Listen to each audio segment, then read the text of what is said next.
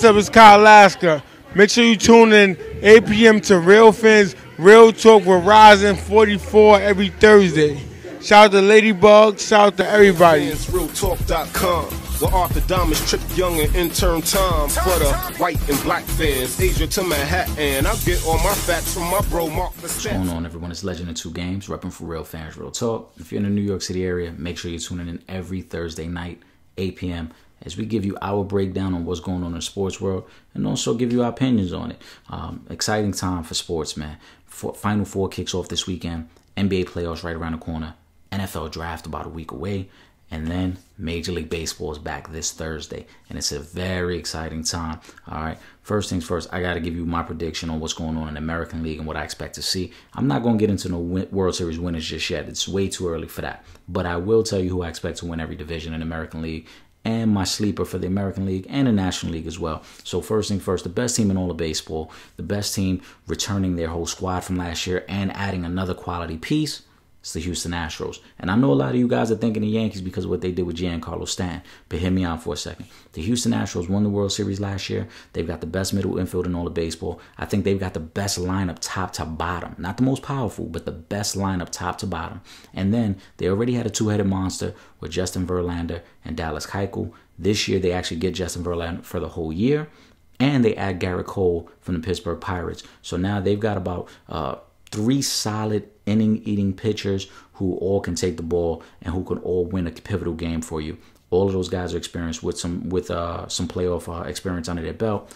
I like the Houston Astros as the best team in the American League, but a very close second are those New York Yankees. I think the Yankees, what they did with Giancarlo Stanton, bringing him over now to this already powerful lineup. They were a team that led the American League in home runs last year. And then you add the National League MVP to that mix.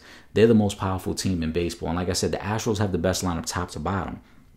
But the Yankees have the most pop, and the Yankees have the most fearsome middle of a lineup when you consider Judge, Stanton, uh, Sanchez. You throw Bird in there.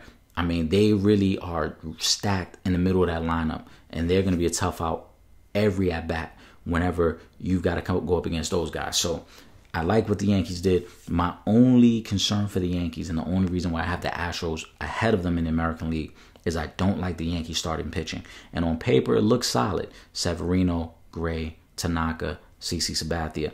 It looks solid. But when you look at the numbers a little deeper, all of those guys struggled last year. Severino had a good year, kept his ERA under three. Everyone else was three and a half plus in ERA also those guys struggled to get deep in games. Sonny Gray was the only guy that approached 200 innings. The other three guys struggled to get to 200 innings, which means there was a lot of wear and tear on their bullpen. That's the only thing that concerns me about this team. I think every other aspect of this team is top notch. I do believe not only they're the second best team in the American League, they're the second best team in all of baseball. Uh, they won 91 games last year. I expect them to get over 100 wins this year. So I expect them to jump up by about 8 to 10 wins this season with just the addition of Stanton and the experience. Another year for these young guys. They're going to be very good. They will win the American League East. I have the Houston Astros winning the American League West. Have the Cleveland Indians Indians winning the American League Central. They will win over 100 games. But the key with the Indians compared to the other two teams is the Indians play in a very weak division. Um, when you throw Kansas City in the mix, Detroit, Chicago, those are teams that the Indians are going to get fat on, and the Indians are going to beat up on those teams and run away with their divisions. Them winning 100 games does not put them on a level with the Astros and the Yankees, who I feel play in much tougher divisions. Uh, and then my two wild card teams, including the one team I expect to be a sleeper, will be Boston as the top wild card team. They add JD Martinez, but I'm not completely sold on their pitching either. David Price is coming back from an injury. Will he return to what he once was? And then also, uh, along with David Price, Chris Sale, who had a good first season, but both those guys struggle against the Yankees. And I don't see that changing this season. So therefore, Boston will be the second place team in the AL East the number one wild card. The number two wild card in the team, I think they could make a little bit of noise. They they're kind of on the uh, on the upswing is the Minnesota Twins. I like their roster, very young roster, but they've got some young pieces in Sano and Buxton who can carry that team. They don't have the pitching, they don't have the depth that the other teams that I mentioned have, but they will be the the second wild card, I should say, just as they were last year.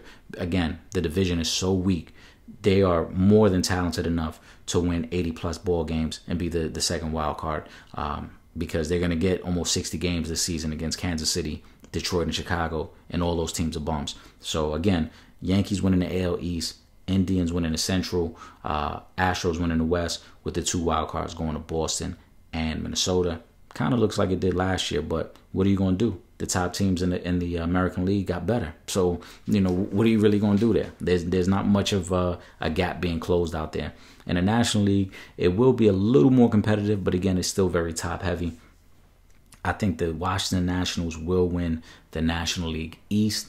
Uh, the big question for them is going to be is this the end of the road for that team? Because they're going to have to make some tough decisions uh, in the offseason after the season on Bryce Harper, who's in the last year of his deal, Gio Gonzalez, who's in the last year of his deal, and uh, Daniel Murphy, who's in the last year of his deal. So the Nationals find themselves in a situation where, on paper, they are very talented, but it has not translated uh, to playoff success. They have not won a playoff series together yet.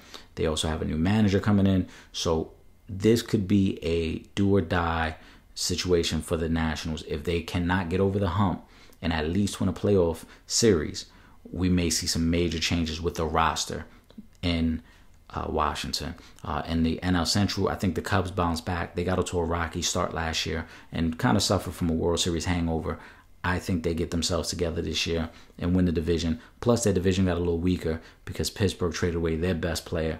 The Reds are really bottom feeders and, and rebuilding at this point. So I see the Cubs running away with the NL Central. Out west, the Dodgers are still the best team out west, but the Dodgers face some of the same concerns that the Nationals face. In that one, they have not had the success we expected them to have. They've had the best pitcher in baseball for quite some time, and they finally got over the hump of winning a playoff series and made it to the World Series last year, only to lose to the Astros. So they find themselves in a similar situation that they may be at a crossroads with their roster and determining what they do long term there. Um, I expect the Dodgers to win the division, but it will be interesting to watch Kershaw um, with his back. He had some back issues last year, and we got to see if it lingers into this season. So the Dodgers will win out west. Um, my two wild card teams, uh, both not I don't want to say sleepers. I'm going to put it more along the lines of just teams that I think will be better than they were last year. And I think that's the Colorado Rockies. They won 83 ball games last year, but I think another year of experience. Their pitching staff is a little better. They've got a budding star in Jon Gray at the top of their rotation. Uh, they also added uh, Wade Davis, the closer, who has been part of many successful ball clubs and won a World Series with the Royals. So I think that makes them a little better, and that's why I see them jumping over the Diamondbacks as the second team in the American League West, but also as a wild card team. The Diamondbacks they lost. Um, uh, JD Martinez to the to the Red Sox, and then also Zack Greinke may start the season on the DL. So I think they'll get off to a little bit of a slow start. The Rockies will be the second best team out west. I'm not sold on the Giants. Bumgarner's out, and the roster's very old. They've got names, but they're an old team, and I don't know how that's going to carry out throughout the season. I'm not confident in it carrying out. Uh, and the Padres are just bad over there, so nobody's even thinking about the Padres. Uh, and then my other wild card team, some might say it's a sleeper. I don't really think it's a sleeper. I think it's just more about health, and it's the New York Mets. And you could call me a homer all you want. I'm a Met fan, so what? But the facts are the facts. And the two years prior to last year, when this team was healthy, they were a playoff team. They were a World Series contender. Last year, they struggled through injuries. The pitching staff was hurt all year. Cespedes was hurt most of the year. There was a lot of influx within the lineup this team has coming out of spring training the healthiest has been in probably about three seasons. And the fact that they've got Syndergaard and DeGrom starting the season healthy, they've got a really tough two-headed monster at the top of that rotation. The lineup, I think, is a little deeper this year. The main flaw for the Mets, though, is they are one dimensional. They hit a lot of home runs. The same way the Yankees led the American League in home runs, the Mets led the National League in home runs. But the difference is the Mets don't do anything else. Their offense is really reliant on the long ball. So that's why it's important that they stay healthy. This is not a team that can manufacture runs, that gets guys on base, that plays hit and run baseball, bunts guys over, steal bases. They don't do that. The Mets rely on the big inning base hit, base hit, three run home run walk, base hit, double in the gap. Those are the things they rely on. They they rely on big innings, big scoring innings. So the Mets have to stay healthy. But I do think the fact that their pitching staff is as healthy as it's been in about three seasons will carry them, and I think they'll get off to a very hot start. Uh, Syndergaard and DeGrom again at the top of that rotation. Harvey looks slimmer than he did last season. Cespedes is healthy to start the season. They have Jay Bruce for the whole season. Todd Frazier, a guy, another veteran, winning veteran who gets you uh, again more pop from your infield and third base spot, which is something they struggled with last year. I think the Mets are going to be better. I think the Mets actually could push the Nationals potentially for the division, but it's really going to be based off the, the start. If the Mets get off to a hot start, I think the Mets will win the National League East because I could see some trouble in DC. As I mentioned, this is a very tough situation to be in because a lot of players in that locker room know that this could be their last season together. And with a new manager in place, are you willing to make the sacrifices to make this work this season, or will it be a pressure situation that these guys crumble under?